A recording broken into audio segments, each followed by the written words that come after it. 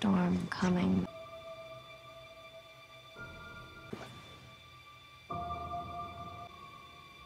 What are you? I'm Gotham's Rick.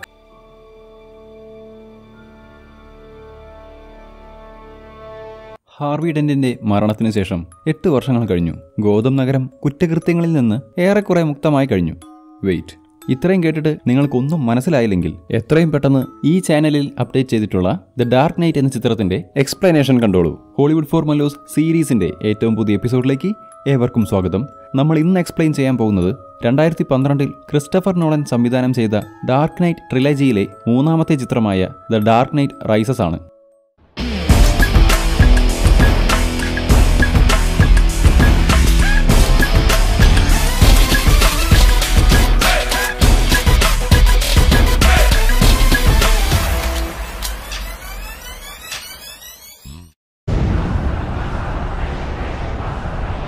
ചിത്രത്തിന്റെ ആദ്യ രംഗത്തിൽ കാണിക്കുന്നത് ഒരു പ്ലെയിൻ. അതിനകത്ത് ഡോക്ടർ പവൽ എന്ന ന്യൂക്ലിയർ എനർജി ഫിസിസ്റ്റ് ഉണ്ട്. അയാളോടൊപ്പം തന്നെ ഒരു സി ഐ എ ഏജന്റുമുണ്ട്. ഇവരുടെ കസ്റ്റഡിയിൽ മുഖത്ത് ഒരു ബ്രീത്തിങ് ഡിവൈസ് വെച്ച ഒരാളുണ്ട്. അയാളൊരു തീവ്രവാദ സംഘടനയുടെ തലവനാണ്. അയാളുടെ പേരാണ് മിസ്റ്റർ ബെയിൻ. ഈ പ്ലെയിനിൽ സഞ്ചരിച്ചുകൊണ്ടിരിക്കുന്ന സമയത്ത് തന്നെ ഇതിലുള്ള C I A agent Bane ആരാണെന്നും അവന്റെ ഉദ്ദേശം എന്താണെന്നൊക്കെ മനസ്സിലാക്കാനുള്ള ഒരു ശ്രമം നടത്തി നോക്കുന്നുണ്ട്. അപ്പോൾ ഇവർക്ക് മനസ്സിലാവും ബെയിൻ കരുതിക്കൂട്ടി മനഃപൂർവം പിടിയിലായതാണെന്ന്. അപ്പോൾ ഈ സി ഐ എ ഏജന്റ് ചോദിക്കും നിന്റെ അടുത്ത ഉദ്ദേശം എന്താണ്? ബെയിൻ പറയും ഈ പ്ലെയിൻ തകർക്കുന്നതാണെന്ന്.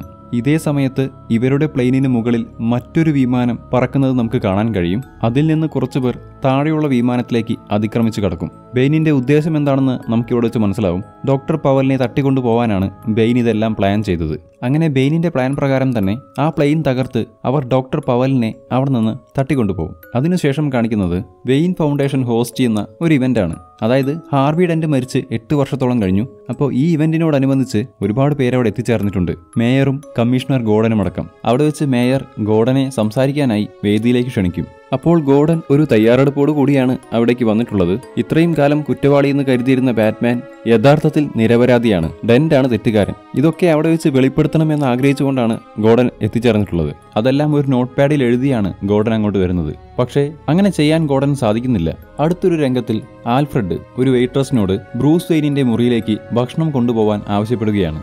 ആൽഫ്രഡ് പറയും അവിടെ പോയി മേശപ്പുറത്ത് ഭക്ഷണം വയ്ക്കുക. അതിനുശേഷം റൂം ലോക്ക് ചെയ്ത് പുറത്തേക്ക് വരണം. മറ്റൊന്നും ചെയ്യാൻ പാടില്ലെന്ന്. അവൾ ആ മുറിയിലേക്ക് കിടന്ന് മേശപ്പുറത്ത് ഭക്ഷണം വെച്ച് അവിടെ ചുറ്റുപാടും പരിസരവും ഒക്കെ നിരീക്ഷിച്ചുകൊണ്ടിരിക്കുന്ന സമയത്ത് പെട്ടെന്ന് ബ്രൂസ് വെയിൻ അങ്ങോട്ട് വരും. ഈ സമയത്ത് നമ്മൾ ബ്രൂസ് വെയിനെ അല്ലെങ്കിൽ ബാറ്റ്മാനെ കാണുമ്പോൾ അദ്ദേഹത്തിന്റെ അവസ്ഥ വളരെ പരിതാപകരമാണ്. നേരെ ചൊവ്വേ നടക്കാൻ പോലും സാധിക്കാത്തവണ്ണം വടി കുത്തിപ്പിടിച്ചാണ് അദ്ദേഹം നടക്കുന്നത്. ബ്രൂസ് ആ മുറി വിട്ട് പുറത്തേക്ക് ഇറങ്ങാറേയില്ല. അതിനുള്ളിൽ തന്നെയാണ് കഴിഞ്ഞ എട്ട് വർഷമായി. ബ്രൂസ് അവളോട് പറയും നിന്റെ കഴുത്തിൽ കിടക്കുന്ന മാല എന്റെ അമ്മയുടെ മാല പോലെ ഉണ്ടല്ലോ. പക്ഷേ ഇത് അതാവാൻ വഴിയില്ല. കാരണം അത് ഞാൻ സേഫായിട്ട് ഒരു ലോക്കറിൽ വെച്ച് പൂട്ടിയിരിക്കുകയാണ്. എന്ന് പറഞ്ഞുകൊണ്ട് ആ ലോക്കർ ചെക്ക് ചെയ്യുമ്പോൾ അത് തുറന്നു കിടക്കുകയാണ്. അവനത് തിരിച്ചു തരാൻ ആവശ്യപ്പെടുന്ന സമയത്ത് അവന്റെ ഊന്നുവടി അവൾ കാലുകൊണ്ട് തട്ടിത്തെറിപ്പിക്കും. എന്നിട്ട് അവിടെയുള്ള ഒരു ജനൽ വഴി പുറത്തേക്ക് രക്ഷപ്പെട്ടു പോകും. അവൾ ഒരു മോഷ്ടാവായിരുന്നു. പേര് സെലീന. കേറ്റ് എന്നാണ് സെലീന അറിയപ്പെടുന്നത്. ജനൽ വഴി പുറത്തേക്ക് ചാടിയ ശേഷം അവിടെ വെയിറ്റ് ചെയ്തിരുന്ന ഒരു കാറിൽ സെലീന രക്ഷപ്പെട്ടു പോകും. ഈ സമയത്ത് ആൽഫ്രഡ് അങ്ങോട്ട് വരും. വിവരങ്ങളൊക്കെ അറിയുമ്പോൾ ആൽഫ്രഡ് ചോദിക്കും നിനക്ക് പോലീസിൽ അറിയിച്ചുകൂടായിരുന്നു? അപ്പൊ ബ്രൂസ് പറയും അവൾക്ക് വേണ്ടിയിരുന്നത് എന്റെ മാലയല്ല അതിനേക്കാൾ ഉപരി എന്റെ ഫിംഗർ പ്രിന്റ് ആണ്. വർഷങ്ങളായി ആ മുറിയിൽ ബ്രൂസ് അടച്ചുപൂട്ടിയിരിക്കുകയാണ്. അതിൽ വിഷമം തോന്നുന്ന ആൽഫ്രഡ് പറയും നീ ഒന്ന് പുറത്തേക്ക് ഇറങ്ങണം. ഇതിന് മറുപടിയായി ബ്രൂസ് പറയും പുറത്ത് എനിക്ക് ഒന്നും ചെയ്യാനില്ല. അങ്ങനെ പറയാനുള്ള കാരണം കഴിഞ്ഞ എട്ട് വർഷമായി ഗോതം നഗരം ശാന്തമാണ്. അതുകൊണ്ട് തന്നെ ബ്രൂസിന് ബാറ്റ്മാന്റെ വേഷം അണിയേണ്ട ആവശ്യം വന്നിട്ടില്ല. അതിനുശേഷമുള്ള രംഗത്തിൽ സെലീന ബ്രൂസിന്റെ ഫിംഗർ പ്രിന്റ് ഒരാളെ ഏൽപ്പിക്കും. എന്നിട്ട് അയാളോട് പ്രതിഫലം ചോദിക്കുന്ന സമയത്ത് അയാൾ അവളെ കൊല്ലാൻ ശ്രമിക്കും. എന്നാൽ ഇതെല്ലാം തന്നെ മുൻകൂട്ടി കണ്ടിരുന്ന സെലീനയ്ക്ക് ഒരു ബാക്കപ്പ് പ്ലാൻ ഉണ്ടായിരുന്നു. അവൾ കരുതിക്കൂട്ടി തന്നെ പോലീസിനെ വിവരം അറിയിച്ചിരുന്നു അതുകൊണ്ട് വളരെ പെട്ടെന്ന് തന്നെ അവിടേക്ക് പോലീസ് എത്തിച്ചേരും. അവിടെ ഉണ്ടാകുന്ന വെടിവയ്പ്പിനിടയിൽ സെലീന അവിടെ നിന്ന് രക്ഷപ്പെട്ട് പുറത്തേക്ക് പോകും. പക്ഷേ ഇത് കാണുന്ന ഗോഡൻ സെലീനയെ പിന്തുടരും. അങ്ങനെ അവൾ ഒരു മാൻഹോൾ വഴി ഒരു തുരങ്കത്തിലേക്ക് പോകും. പിന്തുടർന്നു പോകുന്ന ഗോഡൻ കാണുന്നത് ഒരു വലിയ സംഘം ആളുകൾ തന്നെ അവിടെ എന്തോ കാര്യമായ പ്രവൃത്തിയിലാണ്. ബെയിനും കൂട്ടാളികളുമാണ് അവിടെ ഉള്ളത്. അവർ ഗോഡനെ പിടികൂടും. എന്നാൽ വെടിവെച്ച് കൊല്ലാൻ സാധിക്കുന്നതിന് മുൻപേ തന്നെ ഗോഡൻ അവിടെയുള്ളൊരു വെള്ളത്തിന്റെ ചാലിലേക്ക് സ്വയം എടുത്തു ചാടും. ജോൺ ബ്ലേക്ക് എന്നൊരു ഡിറ്റക്റ്റീവ് ഗോഡന്റെ ലൊക്കേഷൻ ട്രേസ് ചെയ്ത് അവനെ കണ്ടെത്തി എത്രയും പെട്ടെന്ന് തന്നെ ഹോസ്പിറ്റലിലാക്കും. എന്ത് സംഭവിച്ചു എന്ന് ബ്ലേക്ക് ചോദിക്കുമ്പോൾ ഗോഡൻ പറയും നഗരത്തിൽ ഒരിടത്ത് അണ്ടർഗ്രൗണ്ടിൽ ഒരു വലിയ ഗ്യാങ് ഉണ്ട്. അവർ കാര്യമായ എന്തോ ഒരു പദ്ധതി പ്ലാൻ ചെയ്യുന്നുണ്ട്. അതുകൊണ്ട് എത്രയും പെട്ടെന്ന് അവരെ തടയണം. അതിനുവേണ്ട ടീം സെറ്റ് ചെയ്യാൻ ആവശ്യപ്പെടും. ബ്ലേക്ക് അവിടെ നിന്ന് നേരെ ബ്രൂസിനെ കാണാനായി പോകും ബ്രൂസിനെ കാണുമ്പോൾ ബ്ലേക്ക് പറയും നിന്നെ ഇപ്പോൾ ഈ നഗരത്തിന് ആവശ്യമുണ്ട്. അതായത് ബ്രൂസ് തന്നെയാണ് ബാറ്റ്മാൻ എന്ന് ബ്ലേക്കിന് അറിയാം. അപ്പോൾ ബ്രൂസ് ചോദിക്കും നിനക്കിത് എങ്ങനെ അറിയാമെന്ന്? ബ്ലേക്ക് അതിന് മറുപടിയായി പറയും വെയിൻ എന്റർപ്രൈസസിന്റെ ഫണ്ടിൽ നിന്ന് ഒരു അനാഥാലയം പ്രവർത്തിച്ചിരുന്നു. ബ്രൂസിന്റെ കമ്പനിയായിരുന്നു അവർക്ക് വേണ്ട ഫണ്ട് കൊടുത്തുകൊണ്ടിരുന്നത്. കുറച്ച് വർഷങ്ങൾക്ക് മുമ്പ് ആ അനാഥാലയത്തിന്റെ പ്രവർത്തനം നിലച്ചു. ഇതിനെക്കുറിച്ച് ബ്രൂസ് ആൽഫ്രഡിനോട് അന്വേഷിക്കും. അപ്പോൾ ആൽഫ്രഡ് പറയും നമ്മുടെ സ്ഥാപനത്തിന്റെ ലാഭത്തിൽ നിന്നുമാണ് ആ ഓർഫനേജ് പ്രവർത്തിച്ചുകൊണ്ടിരുന്നത്. കമ്പനി നേരാവണ്ണം പ്രവർത്തിച്ചാലല്ലേ ലാഭമുണ്ടാവൂ ലാഭമില്ലാതായതോടെ പണം കൊടുക്കുന്നതും നിർത്തി. ഇതാണ് സംഭവിച്ചതെന്ന് പറയും. അപ്പോൾ ബ്രൂസ് ആൽഫ്രഡിനോട് പറയും എന്റെ കാൽ കാണിക്കാനായിട്ട് ഒരു ഹോസ്പിറ്റലിൽ അപ്പോയിൻമെന്റ് ബുക്ക് ചെയ്യണമെന്ന്. ഏത് ഹോസ്പിറ്റൽ എന്ന് ചോദിക്കുമ്പോൾ ഗോർഡൻ കിടക്കുന്ന ഹോസ്പിറ്റലിൽ ബുക്ക് ചെയ്യാൻ ആവശ്യപ്പെടും. അങ്ങനെ ബ്രൂസ് ഹോസ്പിറ്റലിലെത്തി ഡോക്ടറുമായി സംസാരിക്കുന്ന സമയത്ത് ഡോക്ടർ പറയും താങ്കളുടെ കാൽമുട്ടിന് കാര്യമായ പരിക്കുണ്ട്. താങ്കൾക്ക് നിർബന്ധമായും വിശ്രമം ആവശ്യമാണെന്ന്. ഡോക്ടർ അവിടെ നിന്ന് മാറുന്ന സമയത്ത് ജനൽ വഴി പുറത്തേക്ക് ചാടുന്ന ബ്രൂസ് ഗോഡന്റെ മുറിയിലേക്ക് എത്തും ഒരു മുഖം മൂടി ഉപയോഗിച്ച് അവൻ തന്നെ മുഖം മറച്ചിട്ടുണ്ടായിരിക്കും. കാരണം ബ്രൂസാണ് ബാറ്റ്മാൻ എന്നുള്ളത് ഗോഡൻ അറിയില്ല തന്റെ മുന്നിലിരിക്കുന്നത് ബാറ്റ്മാൻ ആണെന്ന് മനസ്സിലാക്കുമ്പോൾ ഗോർഡൻ പറയും നീ എത്രയും പെട്ടെന്ന് തിരിച്ചു വരേണ്ട ആവശ്യമുണ്ട്. ഈ സമയത്ത് സെലീന മറ്റൊരു മോഷണത്തിന്റെ ഭാഗമായി ഒരു പാർട്ടിയിൽ പങ്കെടുത്തുകൊണ്ടിരിക്കുകയാണ്. അപ്പോൾ അവിടേക്ക് ബ്രൂസ് വെയിൻ കടന്നു വരും മിറാൻഡ ടൈറ്റ് എന്നൊരു യുവതിയെ അവിടെ വെച്ച് ബ്രൂസ് പരിചയപ്പെടും. ബ്രൂസ് അവളോട് ചോദിക്കും നീ എന്തിനാണ് എന്റെ ഫിംഗർ പ്രിന്റ് മോഷ്ടിച്ചതെന്ന്? അതിനവൾ കൃത്യമായൊരു മറുപടിയൊന്നും പറയില്ല. പക്ഷേ ആ സമയത്ത് തന്നെ അവൾ ആ പാർട്ടിയിലേക്കുള്ള അവന്റെ ടിക്കറ്റ് അവന്റെ കോട്ടിൽ നിന്നും മോഷ്ടിക്കും. എന്നിട്ട് അവനേക്കാൾ മുൻപേ പുറത്തേക്കിറങ്ങി അവന്റെ കാറും മോഷ്ടിച്ചുകൊണ്ട് അവിടെ നിന്ന് സ്ഥലം വിടും. പിറ്റേ ദിവസം ബ്രൂസ് ലൂസിയസ് ഫോക്സിനെ കാണാനായി ചെല്ലും. റിസർച്ച് ആൻഡ് ഡെവലപ്മെന്റ് ഡിപ്പാർട്ട്മെന്റിന്റെ തലവനാണ് ലൂസിയസ് ഫോക്സ്. കമ്പനിക്ക് എങ്ങനെയാണ് ഇത്രയും വലിയ നഷ്ടം പറ്റിയതെന്ന് ബ്രൂസ് ചോദിക്കുമ്പോൾ ഫോക്സ് പറയും ന്യൂക്ലിയർ ഫ്യൂഷൻ റിയാക്ടർ പ്രൊജക്ടിന് വേണ്ടി നമ്മൾ ഒരുപാട് പണം ഇൻവെസ്റ്റ് ചെയ്തിരുന്നു. പ്രൊജക്ടിന്റെ കോർ യൂസ് ചെയ്ത് ആർക്ക് വേണമെങ്കിലും അതൊരു ന്യൂക്ലിയർ ബോംബാക്കി മാറ്റാൻ സാധിക്കുമെന്ന് മനസ്സിലാക്കിയതുകൊണ്ട് ബ്രൂസ് ഈ പ്രൊജക്ട് പകുതിക്ക് വെച്ച് ഉപേക്ഷിക്കും. അതിൽ കമ്പനിക്ക് വലിയ നഷ്ടം സംഭവിക്കും. ഈ എട്ട് വർഷത്തിന് ശേഷം നിനക്ക് എന്താണ് വേണ്ടതെന്ന് ഫോക്സ് ബ്രൂസിനോട് ചോദിക്കും. അപ്പോൾ ബ്രൂസ് ഒരു പുതിയ ബാറ്റ് സ്യൂട്ട് ആവശ്യപ്പെടും. താൻ നിർമ്മിച്ച മറ്റൊരു വാഹനവും ഫോക്സ് ബ്രൂസിന് കാണിച്ചു കൊടുക്കും. ബാറ്റ് എന്നാണ് ആ വാഹനത്തെ വിളിക്കുന്നത്. അതൊരു ഹെലികോപ്റ്ററിന്റെയും വിമാനത്തിന്റെയും മിക്സ്ചറാണ് ഒരു ഫൈറ്റർ പ്ലെയിൻ പോലെ വേഗത്തിൽ പോകാനും ഹെലികോപ്റ്റർ പോലെ വായുവിൽ നിർത്താനും സാധിക്കുന്നൊന്ന്. പക്ഷേ ഓട്ടോ പൈലറ്റ് ഇല്ല എന്നുള്ളതാണ് അതിനുള്ള ഏക പോരായ്മ. കാലിന്റെ പരിക്ക് ഭേദമല്ലാത്തതുകൊണ്ട് ബ്രൂസ് അതിനുവേണ്ടി ഒരു റോബോട്ടിക് സപ്പോർട്ട് ഉപയോഗിക്കും. അതുകൊണ്ട് തന്നെ അവന് മര്യാദയ്ക്ക് നടക്കാനും മറ്റു കാര്യങ്ങൾ ചെയ്യാനും കുറച്ചുകൂടി എളുപ്പമാവും. അതിനുശേഷമുള്ള സംഭാഷണത്തിൽ ആൽഫ്രഡ് ബ്രൂസിനോട് ആ അണ്ടർവേൾഡ് ഗാങ്ങിനെ കുറിച്ച് പറയും. ബെയിൻ എന്നാൽ ലീഗ് ഓഫ് ഷെഡോസിലെ ഒരു മെമ്പർ ആയിരുന്നു. ബാറ്റ്മാനും ട്രെയിനിങ് നൽകിയ റാസൽ ഗൂൾ തന്നെയാണ് ബെയിനിനും ട്രെയിനിങ് നൽകിയിരിക്കുന്നത്. റാസൽ ഗൂൾ എന്ന കഥാപാത്രം ബാറ്റ്മാൻ ബെഗിൻസ് എന്ന ഒന്നാം ഭാഗത്തിൽ കൊല്ലപ്പെടുന്നുണ്ട്.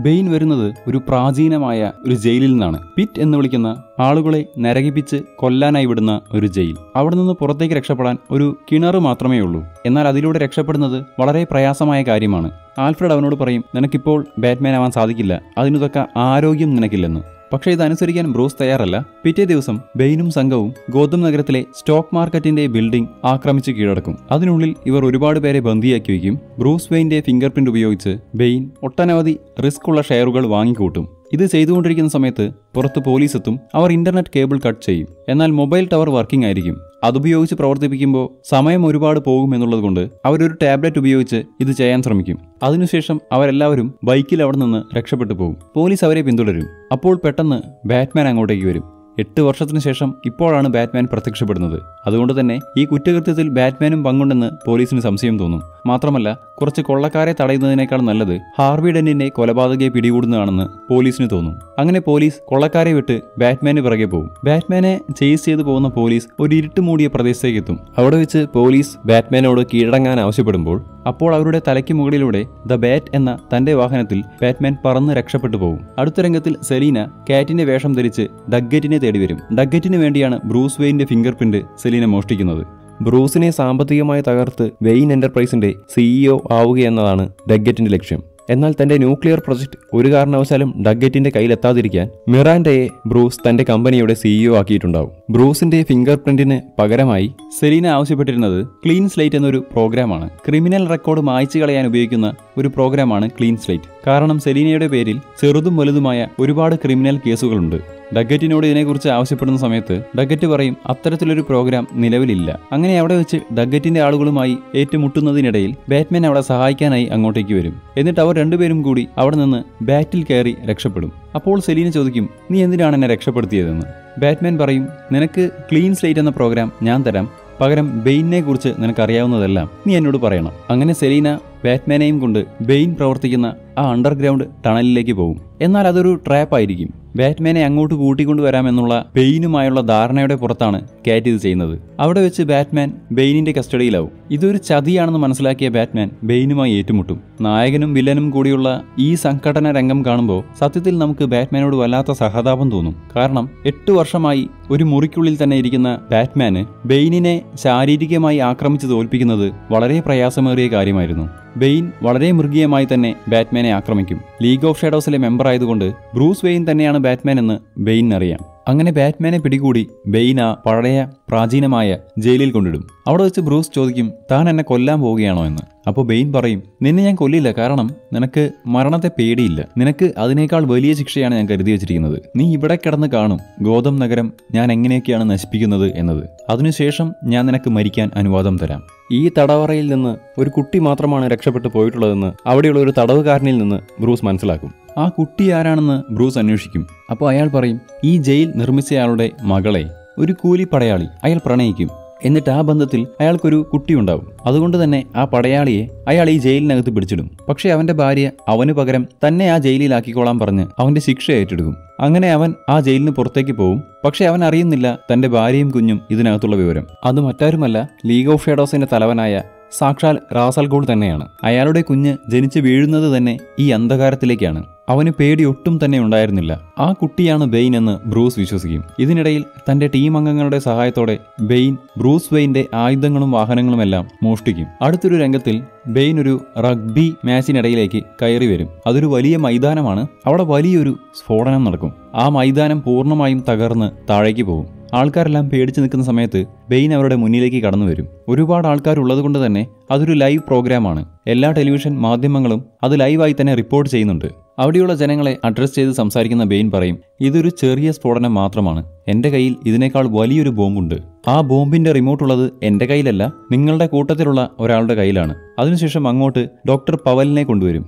എന്നിട്ട് പവലിനോട് ചോദിക്കും ആർക്കാണ് ഈ ബോംബ് നിർവീര്യമാക്കാൻ സാധിക്കുക എന്ന്? അപ്പോൾ ഡോക്ടർ പവൽ പറയും അത് താൻ മാത്രമാണെന്ന്. ഉടനെ തന്നെ അവരെല്ലാവരുടെയും മുന്നിൽ വെച്ച് ബെയിൻ പവലിനെ കൊല്ലും. ഈ സമയത്ത് ഗോതം നഗരത്തിന്റെ പലയിടങ്ങളിലായി സ്ഫോടനം നടക്കുന്നത് നമുക്ക് കാണാൻ സാധിക്കും. ബെയിനിനെ പിടികൂടാനായി അണ്ടർഗ്രൗണ്ടിലേക്ക് വന്ന അയ്യായിരത്തോളം വരുന്ന പോലീസ് സംഘത്തെ ഇത്തരത്തിലുള്ള സ്ഫോടനത്തിലൂടെ ബെയിൻ പുറത്തേക്ക് കിടക്കാനാവാത്ത വിധം കെണിയിലാക്കും. അതിനുശേഷം ബെയിൻ പറയും ഇനി മുതൽ ഈ നഗരം എന്റെ കൺട്രോളിലായിരിക്കും. ഇവിടെ നിന്ന് ഒരാൾക്ക് പുറത്തേക്ക് പോകാനോ പുറത്തുള്ള ഒരാൾക്ക് അകത്തേക്ക് വരാനോ സാധിക്കില്ല. ഈ ബോംബിന്റെ റിമോട്ട് അമർത്തിയില്ലെങ്കിൽ പോലും അഞ്ചു മാസങ്ങൾക്ക് ശേഷം ഈ ബോംബ് പൊട്ടിത്തെറിക്കും. അതിൽ നിന്ന് ഈ നഗരത്തെ രക്ഷിക്കാൻ ആർക്കും സാധിക്കില്ല. അതിനുശേഷം ബെയിൻ അവിടെയുള്ള ഒരു ജയിൽ ആക്രമിച്ച് അവിടുത്തെ മുഴുവൻ തടവ് പുള്ളികളെയും രക്ഷപ്പെടുത്തും. അങ്ങനെ അവർക്കെല്ലാം ആയുധം കൊടുത്ത് സ്വന്തമായൊരു ആർമി തന്നെ ബെയിൻ നിർമ്മിച്ചെടുക്കും. ഈ തടവ് പുള്ളികളെ രക്ഷിക്കുന്നതിന് മുൻപായിട്ട് ഹാർവി ഡെന്റിന്റെ എട്ടാമത്തെ ഡെത്ത് ആനിവേഴ്സറിക്ക് വായിക്കാൻ വേണ്ടി ഗോർഡൻ തന്റെ പോക്കറ്റിൽ സൂക്ഷിച്ചിരുന്ന നോട്ട്സ് ബെയിൻ ലഭിച്ചിട്ടുണ്ടാവും. ബെയിൻ അതെടുത്ത് ഉറക്കെ വായിക്കും. അതിൽ എഴുതിയിരിക്കുന്നത് ഹാർവി ഡെന്റാണ് എന്റെ മകനെ കൊല്ലാൻ ശ്രമിച്ചത്. ആ ഭ്രാന്തനായ മനുഷ്യനു വേണ്ടിയാണ് ഞാൻ ഇത്രയും കാലം വാദിച്ചുകൊണ്ടിരുന്നത്. ഡെന്റ് ചെയ്ത തെറ്റുകളാണ് ബാറ്റ്മാൻ ഏറ്റെടുത്തത്. ഇത്രയും കാലം ഞാൻ ഈ രഹസ്യം എന്റെ മനസ്സിൽ സൂക്ഷിച്ചുകൊണ്ട് നടന്നു. ഇനി എനിക്കതിന് സാധിക്കില്ല. ഞാൻ റിസൈൻ ചെയ്യാൻ പോവുകയാണ്. തുടങ്ങിയ കാര്യങ്ങളാണ് ആ നോട്ടിൽ എഴുതിയിരിക്കുന്നത്. അങ്ങനെ ഗോതം നഗരം ഒന്നടങ്കം ഒരു അരാജക അവസ്ഥയിലേക്കെത്തും. അവിടെ കുറ്റവാളികളെല്ലാം ചേർന്ന് കോടതി മുറികൾ കയ്യേറും. എന്നിട്ട് സ്വയം വാദിച്ച് സ്വന്തം ഇഷ്ടപ്രകാരം ശിക്ഷ നടപ്പാക്കി ആൾക്കാരെ കൊല്ലും. അങ്ങനെ അഞ്ചു മാസങ്ങൾ കടന്നുപോകും. ഈ സമയം ജയിലിൽ കഴിയുന്ന ബ്രൂസ് വെയിൻ ശാരീരികമായിട്ടുള്ള തന്റെ പരിശീലനം വീണ്ടും ആരംഭിച്ചിട്ടുണ്ടായിരിക്കും. കാരണം ഇവിടെ കിടന്ന് മരിക്കാൻ അദ്ദേഹം ഉദ്ദേശിക്കുന്നില്ല. ഇവിടെ നിന്ന് പുറത്തേക്ക് കടക്കാൻ തീരുമാനിച്ചു കഴിഞ്ഞു. അങ്ങനെ അരയിലൊരു കയർ കെട്ടിയ ശേഷം ആ കുഴിയിൽ നിന്ന് രക്ഷപ്പെടാനുള്ള ഒരു ശ്രമം ബ്രൂസ് നടത്തി നോക്കും. പക്ഷെ പരാജയപ്പെടും. അപ്പോൾ ബ്രൂസ് അവിടെയുള്ള തടവുകാരനോട് ചോദിക്കും എങ്ങനെയാണ് ആ കുട്ടി ഇവിടെ നിന്ന് രക്ഷപ്പെട്ടു പോയതെന്ന്? അപ്പോൾ അയാൾ പറയും ആ കുട്ടിക്ക് ഭയം എന്നൊന്നും ഉണ്ടായിരുന്നില്ല. അതുകൊണ്ട് തന്നെ അരയിൽ കയർ ബന്ധിപ്പിക്കാതെയാണ് ആ കുട്ടി ഇവിടെ നിന്ന് രക്ഷപ്പെടാനുള്ള ശ്രമം നടത്തിയത്. ഇത് വളരെ അപകടം പിടിച്ചൊരു ശ്രമമാണ്. കാരണം ഇതിൽ പരാജയപ്പെട്ടു കഴിഞ്ഞാൽ മരണം ഉറപ്പാണ്. അങ്ങനെ ബ്രൂസ് ആ കയർ ഉപയോഗിക്കാതെ തന്നെ അവിടെ നിന്ന് രക്ഷപ്പെടാൻ തീരുമാനിക്കുന്നു. അങ്ങനെ ഒടുവിൽ അവൻ ആ ശ്രമത്തിൽ വിജയിച്ച് അവിടെ നിന്ന് പുറത്തേക്കെത്തും. ഗോതം നഗരത്തിലേക്ക് തിരിച്ചെത്തുന്ന ബ്രൂസിന് മനസ്സിലാവും ഇനി ആ ബോംബ് പൊട്ടിത്തെറിക്കാൻ വളരെ കുറച്ച് സമയമേ ബാക്കിയുള്ളൂ. അഞ്ചു മാസമായി ടണലിൽ കുടുങ്ങിക്കിടക്കുന്ന പോലീസുകാരെ രക്ഷിക്കാനായി ബാറ്റ്മാൻ കാറ്റിന്റെ സഹായം തേടും. ഈ സഹായത്തിന് പകരമായി ക്ലീൻ സ്ലൈറ്റ് എന്ന പ്രോഗ്രാം കാറ്റിന് കൊടുക്കാമെന്ന് ബ്രൂസ് സമ്മതിക്കും. അങ്ങനെ ബാറ്റ് ബ്ലേഡ് ഉപയോഗിച്ച് കാറ്റ് ആ പോലീസുകാരെ രക്ഷപ്പെടുത്തും. പുറത്തേക്കെത്തുന്ന പോലീസുകാരും ബെയിനിന്റെ ആൾക്കാരും തമ്മിൽ ഏറ്റുമുട്ടാൻ തുടങ്ങും. അവിടെ വെച്ച് ഒരിക്കൽ കൂടി ബെയിനും ബാറ്റ്മാനും തമ്മിൽ കൊമ്പ് കോർക്കുകയാണ്. പക്ഷേ ഇത്തവണ അത്ര എളുപ്പമല്ല കാര്യങ്ങൾ. ബെയിനും ബാറ്റ്മാനും തമ്മിലുള്ള പോരാട്ടത്തിനിടയിൽ ബെയിനിന്റെ മാസ്ക് ഡാമേജ് ആവും അങ്ങനെ തളർന്ന അവസനായിരിക്കുന്ന ബെയിനിനോട് ബാറ്റ്മാൻ ചോദിക്കും ആരുടെ കയ്യിലാണ് ആ ബോംബിന്റെ റിമോട്ട് ഉള്ളതെന്ന്? ആ സമയത്ത് ബാറ്റ്മാനെ പെട്ടെന്ന് പുറകിൽ നിന്ന് ആരോ കത്തി കൊണ്ട് കുത്തും. തിരിഞ്ഞു നോക്കുന്ന ബാറ്റ്മാൻ ഞെട്ടിപ്പോവും. അത് മിറാൻഡയായിരിക്കും മിറാൻഡയോട് ബാറ്റ്മാൻ ചോദിക്കും നീ എന്തിനാണ് ഇങ്ങനെ ചെയ്തതെന്ന്? അതെന്താണെന്ന് വെച്ചാൽ അന്ന് ആ ജയിലിൽ നിന്ന് രക്ഷപ്പെട്ട് പുറത്തേക്ക് എത്തിയ കുട്ടി അതൊരു ആൺകുട്ടിയല്ല മറിച്ച് പെൺകുട്ടിയാണ്. അവളുടെ പേരാണ് താലിയ അൽഗൂൾ മിറാൻഡ തന്നെയാണ് ആ പെൺകുട്ടി.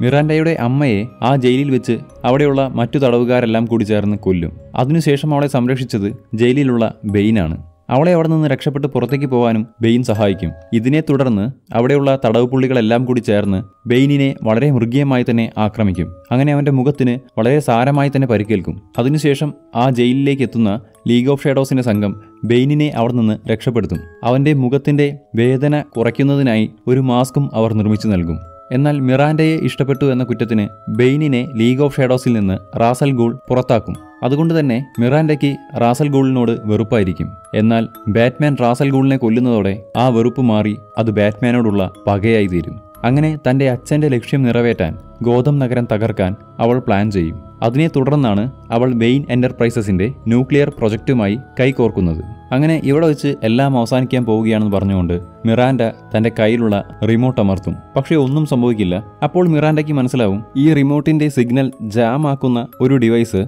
ബാറ്റ്മാൻ ഗോഡന്റെ സഹായത്തോടു കൂടി ഉപയോഗിച്ചിട്ടുണ്ടെന്ന്. എന്നാൽ അവൾക്കറിയാം ഇനി വെറും പതിനൊന്ന് മിനിറ്റ് കൂടിയേ ഉള്ളൂ അതിനുള്ളിൽ ആ ബോംബ് നിർവീര്യമാക്കാൻ ആർക്കും സാധിക്കില്ല. അതിനുശേഷം മിറാൻഡ അവിടെ നിന്ന് പോവും. ബെയിൻ ബാറ്റ്മാനെ കൊല്ലാൻ ശ്രമിക്കുന്ന സമയത്ത് കൃത്യമായി കാറ്റ് അങ്ങോട്ടെത്തി ബെയിനെ കൊലപ്പെടുത്തി ബാറ്റ്മാനെ രക്ഷിക്കും. അതിനുശേഷം ബാറ്റ്മാൻ മിറാൻഡയെ ഫോളോ ചെയ്തു പോകും അങ്ങനെ തുടർന്നുണ്ടാവുന്ന ഒരു ചേസിനൊടുവിൽ മിറാൻഡയുടെ ട്രക്ക് തകർന്ന് അവൾ മരിക്കും. പക്ഷേ മരിക്കുന്നതിന് മുൻപായി അവൾ പറയും എന്റെ അച്ഛന്റെ ആഗ്രഹം നിറവേറാൻ പോവുകയാണ്. നിങ്ങൾക്ക് ഒരാൾക്കും രക്ഷപ്പെടാൻ സാധിക്കില്ല. മരിക്കാൻ തയ്യാറെടുത്തോളൂ എന്ന്. ഈ സമയം ബാറ്റ്മാൻ ആ ന്യൂക്ലിയർ ബോംബ് തന്റെ വാഹനത്തിൽ കണക്ട് ചെയ്ത് അവിടെ നിന്ന് പുറപ്പെടാൻ ഒരുങ്ങും. അപ്പോൾ ഗോഡൻ തടയും. കാരണം ഗോഡന് മനസ്സിലാവും ബാറ്റ്മാന്റെ ജീവൻ അപകടത്തിലാവാൻ പോവുകയാണെന്ന്. അപ്പോൾ ബാറ്റ്മാൻ പണ്ട് തന്റെ മാതാപിതാക്കൾ മരിച്ച് താൻ വിഷമിച്ചിരിക്കുന്ന സമയത്ത് ഗോഡൻ ബ്രൂസ് വെയിനോട് പറഞ്ഞ ഒരു വാചകം തിരിച്ച് ഗോഡനോട് പറയും. ഇവിടെ വെച്ച് ഗോഡന് മനസ്സിലാവും ബാറ്റ്മാൻ തന്നെയാണ് ബ്രൂസ് വെയിൻ എന്ന്. അതിനുശേഷം ആ ബോംബ് തന്റെ വാഹനത്തിൽ കണക്ട് ചെയ്ത് ബാറ്റ്മാൻ അവിടെ നിന്ന് പറന്ന് ഒരു കടലിനുള്ളിലേക്ക് പോവും. പിന്നീട് കാണിക്കുന്നത്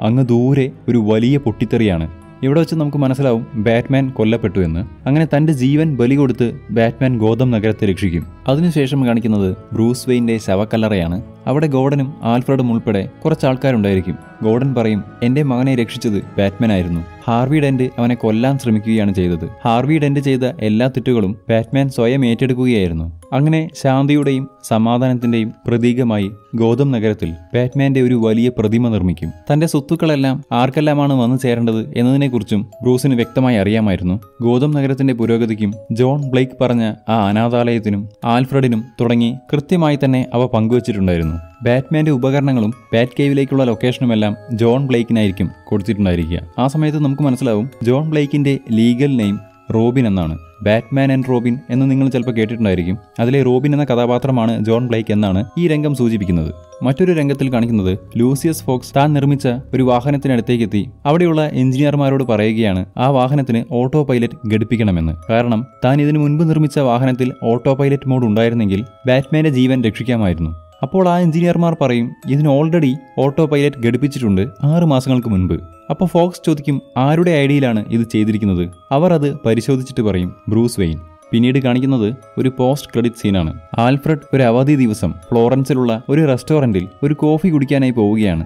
അങ്ങനെ അവിടെ ഇരുന്ന് കോഫി കുടിച്ചുകൊണ്ടിരിക്കുന്ന സമയത്ത് അവനു നേരെ മറ്റൊരു ടേബിളിലായി ബ്രൂസ് വെയിൻ ഇരിക്കുന്നുണ്ടായിരിക്കും. അവന്റെ മുന്നിലായി കാറ്റ് വുമണും അതായത് സെലീനയും ഉണ്ടായിരിക്കും. ബ്രൂസ് വെയിൻ മരിച്ചിട്ടില്ലെന്നും അവർ തമ്മിൽ പ്രണയത്തിലാണെന്നും ഈ രംഗത്തിൽ നിന്നും നമുക്ക് മനസ്സിലാക്കാം. ഓട്ടോ പൈലറ്റ് മോഡ് ഉപയോഗിച്ച് അന്ന് ആ ബോംബ് സ്ഫോടനത്തിൽ നിന്ന് ബാറ്റ്മാൻ രക്ഷപ്പെട്ടിട്ടുണ്ടായിരിക്കും. ഇതോടുകൂടി ശുഭപര്യവസായിയായി ഈ ചിത്രം അവസാനിക്കുകയാണ്.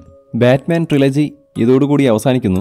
ബാറ്റ്മാനും സ്പൈഡർമാനും ഒക്കെ കേരളത്തിൽ ഉള്ളവരല്ലെങ്കിലും ഈ ഭൂമിയിലൊക്കെ തന്നെയുള്ള സൂപ്പർ ഹീറോസ് ആണല്ലോ. എന്നാൽ ഇനി വരാൻ പോകുന്ന സൂപ്പർ ഹീറോ ഈ ഗ്രഹത്തിലേ ഉള്ള ആളല്ല. ആരാണെന്നും സിനിമ ഏതാണെന്നും മനസ്സിലായവരുണ്ടെങ്കിൽ കമന്റ് സെക്ഷനിൽ രേഖപ്പെടുത്തിക്കോളൂ.